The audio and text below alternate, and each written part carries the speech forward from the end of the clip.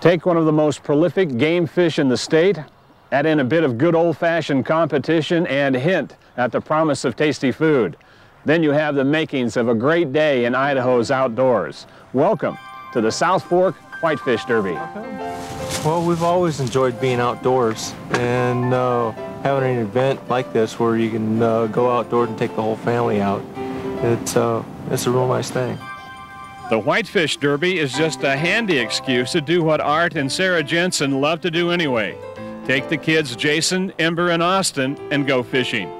Several years ago, they were stationed here while Art was in the military. At the time, they promised themselves that someday they would return to the Idaho Falls area to live. The dream came true, and nowadays you're likely to find them right here along the shoreline of the South Fork of the Snake River, fishing rods in hand hasn't been anything rising on the river, and uh, haven't been taking any of the nymphs I've been putting out. Been uh, using little peacock uh, soft tackle and little uh, beadhead uh, nymphs, and uh, haven't had any luck yet. But like I said, yet we'll see how it goes today. A few yards upriver, father and son team Doug and Greg Seipert are running into the same thing. It's pretty tough to win a derby prize if you don't catch a fish but they aren't about to give up yet. Okay, what we're going to do is put the weight below the nymph and fish the nymph up a little ways in the water. So we'll put the weight down here, have the nymph up here on a dropper. 12-year-old Greg is just beginning to learn the intricacies of casting with a fly rod. It's a challenge to master the skill, and today's gusting wind doesn't make it any easier. You have to use both hands to cast with, remember. The idea behind the Whitefish Derby is to introduce people to a great resource that is often neglected. Many of the state's streams are closed to trout fishing in the spring, but that doesn't mean you should shelve your spinning gear or fly rod. Whitefish have their own general season. They may not be as glamorous as a rainbow trout, but this close cousin can put up quite a fight. Are we going to take it? Yeah, we'll take it into the derby. Got to cook it up for somebody. These are about 14 inches. There's nothing like success to inspire fellow anglers. Six-year-old Ember decides to see if any of her dad's luck has rubbed off on her. Okay. I can't really throw that far, though. Well, if you teach your kids early how to fish and how to take care of the environment, then they'll be uh, doing it all their life, and uh, they'll teach their kids, and they'll be you know, good stewards of the land and how take care of the environment. Uh, teach them not to uh, not to waste fish. If just take what they need, and uh, most of the time we just fish for catch and release, just fish for the fun of it. Baby brother Austin looks on placidly as Ember scampers off to collect trash.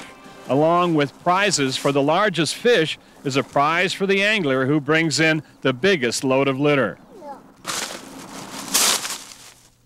A pair of anglers in a drift boat show off their catch of the day, a big, beautiful cutthroat trout, and then float lazily on down the river in pursuit of more. Four-year-old Chandler Smith has no interest in capturing the prize for the largest whitefish. He and his special Mickey Mouse pull are after something else. The most thing I want to catch is a rainbow fish. No whitefish? No, a rainbow fish. And how does one go about that? Tell me how, how you catch a fish. What? How do you catch a fish? Um, need worms and a fishing pole and string and things that make the um, the the little things right here that makes it sink go under deep. This is exactly what the organizer of the Derby, Fish and Game biologist Mark Gamblin, wants to see. A little guy like Chandler Smith learning all about the great fun that can be had in Idaho's outdoors. Another thing that we try to do with these types of, of promotional activities is to get kids brought into the fishing tradition and um, show kids that there's some real good, positive um, pursuits that they can get involved in that uh, I think, contribute to society and make for a better community and hopefully will foster an appreciation for our wildlife heritage and our natural resources. And Mark's day began early, setting up the Ririe Senior Citizen Center for the feast to come. But the anglers didn't disappoint him. A little after noon, fish began arriving by the bucketful to be measured and weighed. Yeah, that, this one puts them at a pound and a quarter. Inside, Mark is busy filleting fish, surrounded by an intent audience of wide-eyed little anglers. 14 different whitefish recipes are featured from smoked to boiled, and the general consensus seems to be that this often maligned fish actually tastes pretty good. It's real good. It's uh, whitefish in a beer batter. just like most things, it really does depend on how you prepare whitefish and using the right recipes and the right techniques. Um, I think, as you've seen today, there are some people that are really quite surprised at how well they can taste.